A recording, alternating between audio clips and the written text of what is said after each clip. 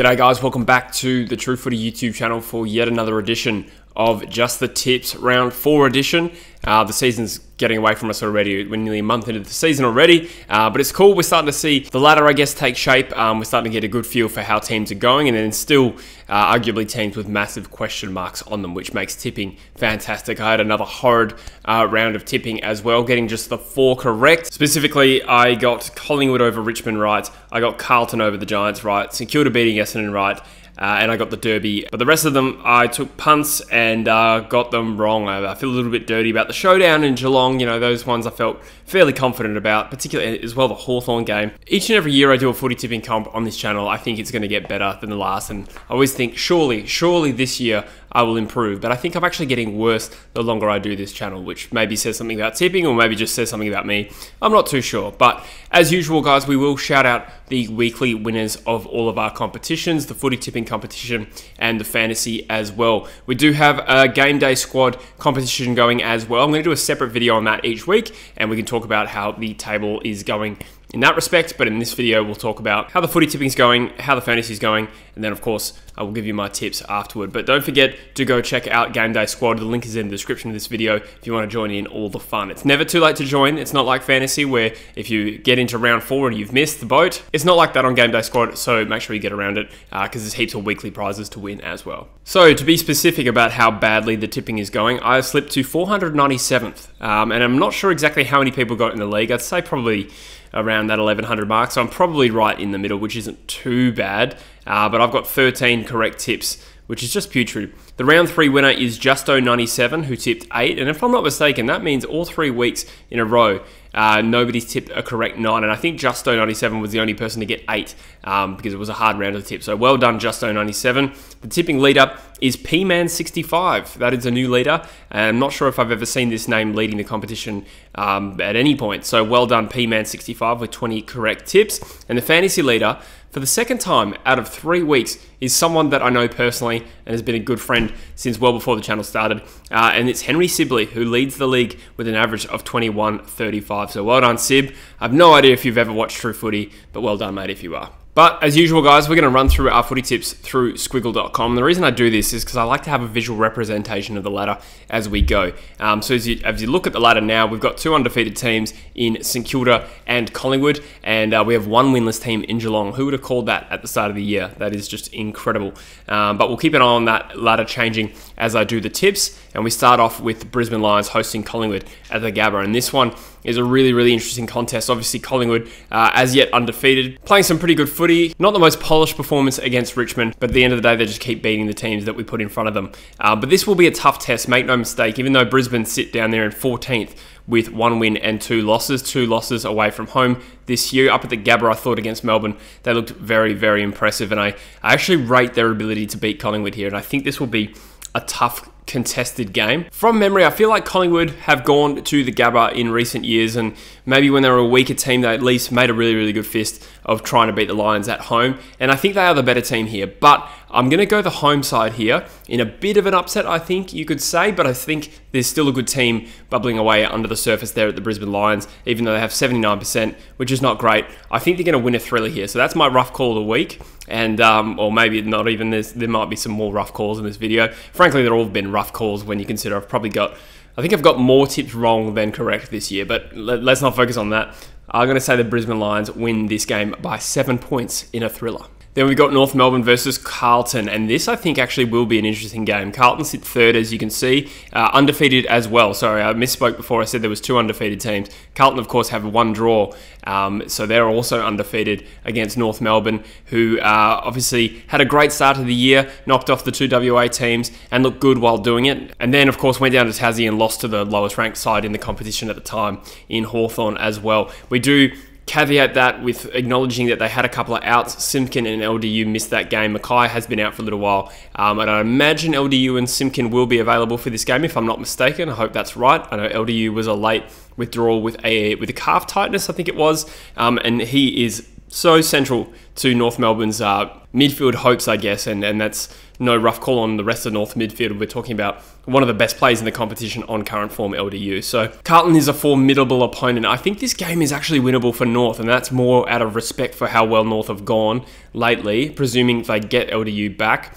But at the moment, I don't know if I'm confident enough in them to topple Carlton. I do think this has some upset potential. I think North Melbourne are capable of catching Carlton on an off day here at Marvel, but I'm going to go conservative with this one and say Carlton win by 20 points, but I think North will give this a decent shake. Adelaide versus Fremantle at Adelaide Oval is a tough one to pick uh, because obviously Adelaide had a couple of average games to start the year. Maybe that's being a little bit harsh, but certainly against GWS and Richmond, they looked really poor in one half and then fantastic in the other half. Then, of course, in the showdown, they showed off what they're really capable of. Running away to win that game by five goals in the end, it was. I think they kicked the last six of the game to run away there. And I think looking at the forward line mix, I know it's a very young forward line, but the talent that forward line has makes them a very dangerous uh, proposition. It was interesting. I saw a graphic the other day of a list of all their young forwards that they've got in that forward line, and it was interesting how many top 10 picks were in that forward line. So without getting fixated on that, I think it was just an interesting aside that uh, Adelaide have really invested in the forward half of the ground. Fremantle have just come off, uh, you know, obviously a disappointing opening two weeks where they lost to North Melbourne and St Kilda, two sides that have played some good footy, and then overcame a pretty valiant West Coast in the Western Derby,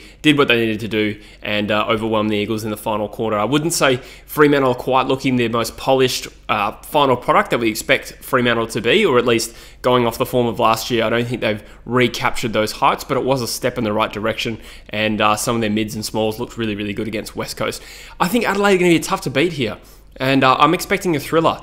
And I know Fremantle fans probably won't like me for doing this, but I think I'm going to tip the Crows here uh, because I am not super convinced about Fremantle just yet. Adelaide, of course, you could have the same doubts about because they've been inconsistent, but if Adelaide shows up to this game, I think they have the potential to win this game. And therefore, I'm going to tip another rough call and say Adelaide win this by 11 points in another good game. Then you've got Richmond and the Western Bulldogs, the premiers from 2016 and 2017, respectively. Um, not that that means anything, and that was six and seven years ago as well. Uh, but Richmond coming off a uh, tough loss against Collingwood, had a few outs, missing a few key players, and put in a reasonable effort. Although I think we can all agree that scoreline could have been a lot worse when you consider how inefficient Collingwood were, particularly in front of goal and converting the inside 50s that they did, did get. And Richmond, on the other hand, uh, I know they were missing Hopper and a few others as well. Um, they really struggled to get inside 50, but they were coming up against a team that uh, I personally believe is the best in the competition right now. The Western Bulldogs, on the other hand, they had a good win over the Brisbane Lions, a really tough defensive massacre, um, so to speak. They won the game by 14 points in the end, really low scoring, uh, which was a good performance in a, in a must-win game, and uh, showed that they, they do have some capacity still this year after a really poor opening two rounds, particularly against St Kilda where they got rolled by 51 points. But I think on exposed form this year, Richmond has clearly been the better side. It's not certainly not the case that the Bulldogs don't have the ability to to beat Richmond and beat them well. But at the moment, Richmond have been a little more stable. They've drawn with Carlton, immediately lost to Collingwood, and then they beat the Crows in round two. I think Richmond should have enough to get home here, and I will tip them, particularly at the MCG, by 22 points. St Kilda then played Gold Coast. St Kilda sitting, well, second on the ladder now, but first in uh, before I started doing this squiggle against the Gold Coast Suns, uh, who sit there in the bottom four. And St Kilda haven't put a foot wrong this year. They've beaten Fremantle, they've beaten Essendon, and they flogged the Bulldogs by 51 points as well. So they've beaten everyone that's in front of them, similar to, to Collingwood, and their defensive pressure is looking really, really good. And I'm particularly impressed at how well they're doing, considering the big names out, and there's a lot of upside in that forward line, particularly. Gold Coast, on the other hand, disappointing opening couple of performances. They lost to Essendon by five goals. They got annihilated by the Swans, who are admittedly a good team. And then they jumped out of the box and beat Geelong in a game where they, um, you know, were just better for longer. And the midfield in particular was very, very good in the contested stakes. We saw Jack Lukosius get off the leash with five goals. There's some upside there. There's some improvement. There's some progress. Bit of momentum as well. That being said, I think on exposed form, you'd be crazy to tip Gold Coast here. I, I know that I know that these two sides have a bit of a knack for playing in thrillers, so potentially we could see a really, really good game on our hands. But at Marvel Stadium here, I think St Kilda's going to have no trouble disposing of the Suns, and I'm going to say it's 34 points. Then we've got the Swans taking on Port Adelaide uh, down in Sydney at the SCG, and you know, after round one, I would have marked this game as a, in my calendar as one of the most anticipated games for me personally, considering the promise that Port Adelaide showed in round one. Uh, but since then, it's been, you know, Uh, less than poor, to be honest, with a 71 point loss to Collingwood or something like that, and then a pretty disappointing showdown performance, it has to be said, as well, with Adelaide getting the job done by five goals in that game. So Port Adelaide have been really, really up and down. And again, it's a case of yes, they have the capacity to win this game, but on the other hand, uh, I equally am a little bit doubtful that they're going to show up to it. And Sydney are a very, very formidable opponent. Obviously, last year's grand finalists. Yes, they got done by the D's by 50 points at the G last week, but again, that is probably one of the tougher fixtures in football right now. Uh, certainly, if you consider Melbourne as highly uh, ranked as I do. I don't think this game is an absolute foregone conclusion. Uh, I do think Port Adelaide could win this game, and this would be the sort of typical game Port Adelaide win, and then uh, equally throws into chaos everything we've said about them over the opening month. They've been up and down. They're a good contested side, which I think will work in their favour at the SCG, which is a very small ground. So I think Port Adelaide have a sniff here. But I think you'd be silly to really back them in too strongly unless you're really just trying to um, be controversial and hope that your, your tips pay off because you're that far behind. And frankly, that I should be doing stuff like that. But even still, I think I'm going to tip Sydney here by a healthy 31 points. Then we've got an interesting clash here between Essendon and GWS. Essendon currently sit seventh on the ladder uh, in the middle of the round anyway, and GWS down in 12th. Essendon have won two games. They've beaten two sides that you kind of expect them to beat, or at least at the start of the season, give them a red hot chance to beat Hawthorn and the Gold Coast Suns in Melbourne, and then lost to St Kilda, who is in red hot form at the moment. So we're still learning about Essendon. I don't think we've had any particular standout performance that makes us think, oh, there are a chance for finals yet. But there certainly has been progress under Brad Scott, and they have definitely improved in playing with more spirit, particularly when you consider their forward half um, absentees, uh, particularly the, the, big forwards um, that they've had unavailable in the opening three rounds. So GWS, for them, it's kind of been a tale of, of really valiant efforts, but again, we probably haven't seen a really polished performance from them yet. In round one, they overcame a big halftime uh, deficit to beat the Crows. So while they showed a lot of courage to win that game. also, they, why were they five goals down in the first place? They lost to West Coast, who admittedly um, are starting to find some form, or at least show some improvement in the way they play. And then they gave a really red hot crack against Carlton, uh, but ultimately fell short. So, still two teams I'm struggling to get a real read on, and that's why I think this game is fairly even, at least on exposed form. I don't think there's a clear favourite for this game. I think you'd have to say Essendon. I still think the Giants have some ability, some capacity to win this game for sure, and uh, I think it'll be more even than perhaps the odds suggest. I haven't looked at them. I am going to tip Essendon. I think that's the safe bet. They are at home and they've played some good footy up to this point, but I still think GWS are capable, even though I ranked them in my power rankings at 17th based on exposed form. This game would be a really, really good test for them. So I'm going to go conservative here and tip the Dons in a home game, but I think we'll see a good game I reckon they'll get the job done by 18 points. Ah, and then you've got the grand final preview in West Coast versus Melbourne. Uh, this will be an absolute barnstormer.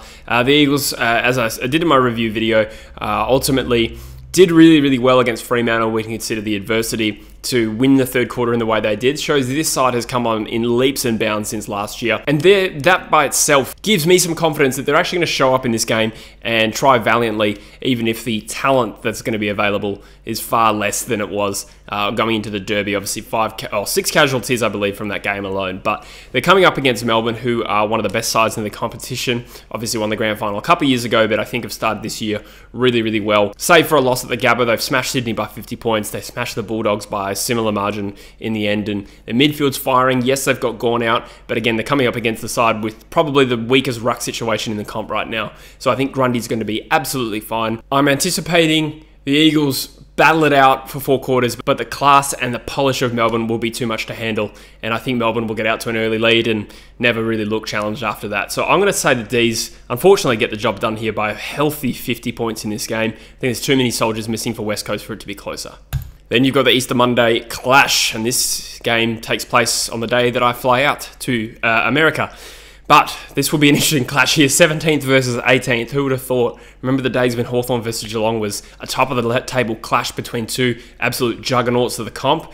Uh, now we're seeing 17th versus 18th, although it is round uh, round four, of course. So the Cats again have been surprisingly poor. The first team to go 0 3 after winning the flag in 47 years. In fact, only four Premiership teams have ever done that, um, which is astounding. And I still haven't lost complete faith in them. I think you'd be silly to. But again, I look at their performances and you look at how well Jeremy Cameron's playing, and you think, geez, if he wasn't in the form that he's in, things would actually be worse at Geelong. But over the course of my time watching football, I know that it would take a silly man to discount Geelong entirely, uh, particularly this early in the season. I think they are going to find their form eventually. Is it going to be this week? It remains to be seen. Hawthorn are coming off a pretty good win over North Melbourne. After a pretty poor opening couple of rounds, they had a big loss against Essendon. Uh, that was by about 10 goals, I think, and then an even bigger one against Sydney down in Sydney.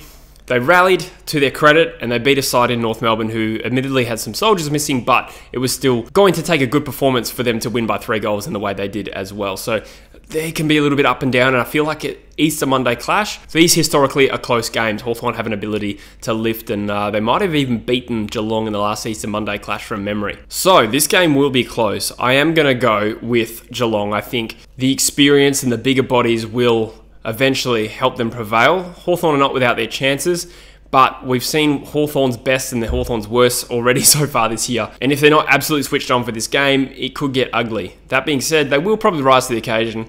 I'm still going to tip Geelong. I think it would take a very brave man to tip Hawthorn. But again, don't listen to me. My tipping sucks. I'm going to tip the Cats by 12 points. This will be a good game um, in terms of I think both teams will lift the occasion and put on a bit of a spectacle. So Geelong by 12. Cool, guys. That is the end of my round four, just the tips. Uh, as we look at the ladder, I have two undefeated teams in St Kilda and Carlton, with Collingwood uh, surprisingly lose to the Lions. And obviously, I, I could get that wrong, because that's probably a less than 50 50 call, but I've taken a punt on the home side in that game. And amazingly, all the way from 11th to 18th, uh, we have teams on 1 and 3 uh, which means that Fremantle's equal bottom. oh, damn, so are we. There you have it, guys. Those are my tips. Let me know in the comments what you agree with, what you disagree with. Let me know your tips in the comments below. Hope you're still enjoying the content, guys. Uh, obviously, been pumping it out lately. Hope you're finding it interesting, and uh, I really do appreciate all the support.